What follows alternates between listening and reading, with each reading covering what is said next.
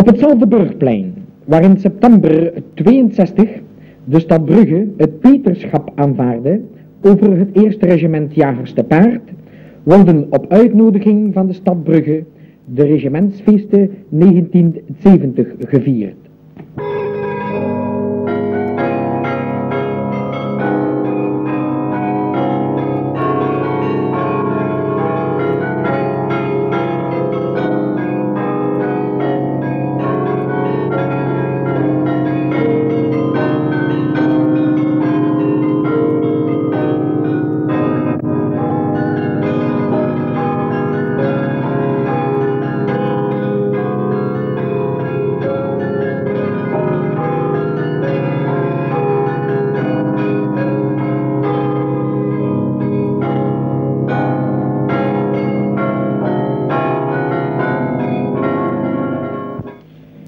Bijzondere interesse bestaat er voor de verschillende types van uniformen, welke door het regiment Eerste Jagers te Paard sedert zijn ontstaan tot heden toe werden gedragen.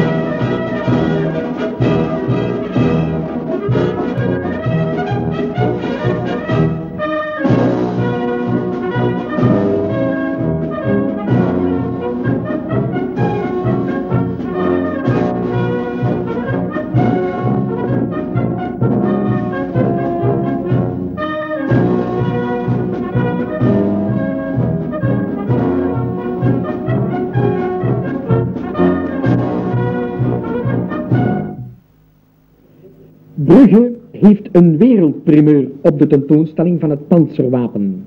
Want voor het eerst wordt het nieuwe panzervoertuig voor de komende jaren, de CVRT, aan het publiek voorgesteld.